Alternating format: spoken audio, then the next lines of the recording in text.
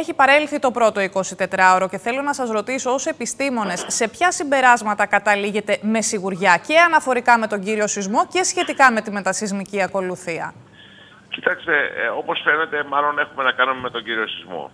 Ε, με βέβαια μικρές επιφυλάξεις.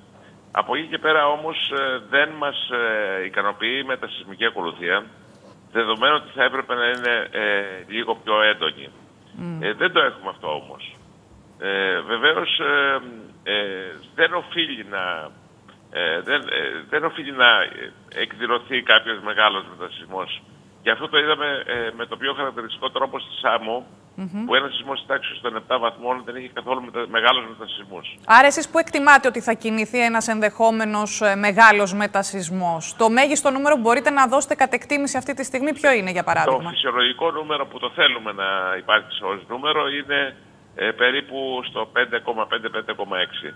Όταν εκδηλωθεί αυτή η σεισμική δραστηριότητα, τότε πιθανότατα να έχουμε τελειώσει με το φαινόμενο. Πάντως από αυτά που μας λέτε εμείς πρέπει να καταλάβουμε ότι τα δεδομένα που έχετε μέχρι στιγμής στα χέρια σας δεν συνάδουν με τον χαρακτήρα του σεισμού; Κοιτάξτε, ε, ε, η κάθε περιοχή έχει τα δικά της χαρακτηριστικά. Δεν μπορούμε εμείς με βάση ε, κάποια μοντέλα που έχουμε, κάποιες γενικές παρατηρήσεις που έχουμε, όχι μόνο από την Ελλάδα, αλλά και από όλο τον κόσμο να πούμε ότι αυτά έγιναν φυσιολογικά και αυτά όχι.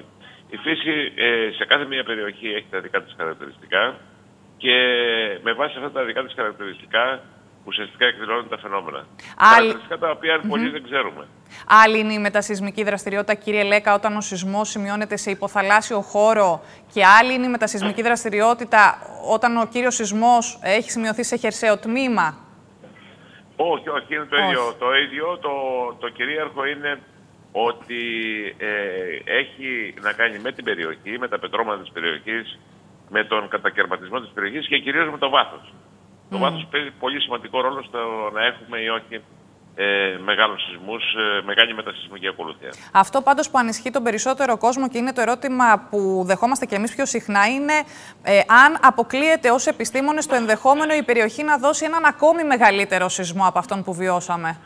Κοιτάξτε, τίποτα δεν αποκλείεται, αλλά σε κάθε περίπτωση ένα, μια τέτοια εκδοχή που αναφέρατε έχει εξαιρετικά μικρές πιθανότητες. Όπως δεν μπορούμε να, να, να, να, αποκλείσουμε ότι αύριο μεθαύριο θα κάνει ένα σεισμό, παραδείγματος χάρη, mm δεν, λέω, δεν λέω περιοχή της Ελλάδας, στην Αίγυπτο παράδειγμα.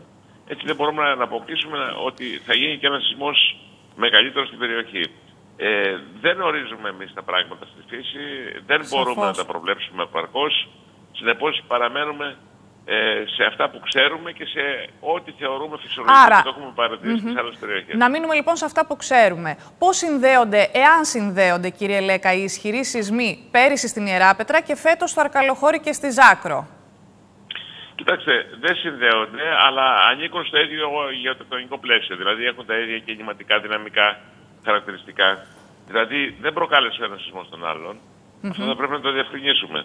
Απλά και μόνο ε, εκείνο το οποίο έγινε είναι ότι ε, ε, ανήκουν στο ίδιο πλαίσιο και ανήκουν στην ίδια σεισμοτεκτονική γειτονιά και το αίτιο είναι κοινό και για τους δύο. Δηλαδή είναι κοινά τα αίτια και για τους δύο.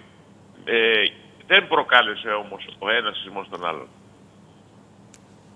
Κύριε Λέκα, πρέπει να μας ανησυχεί το γεγονός ε, ότι είχαμε δύο σεισμούς ισχυρούς μέσα σε διάστημα 15 ημερών; Ε, κοιτάξτε, μας προβληματίζει λιγάκι και υπάρχει μια επιστημονική περιπτώσει, διερεύνηση και συζήτηση.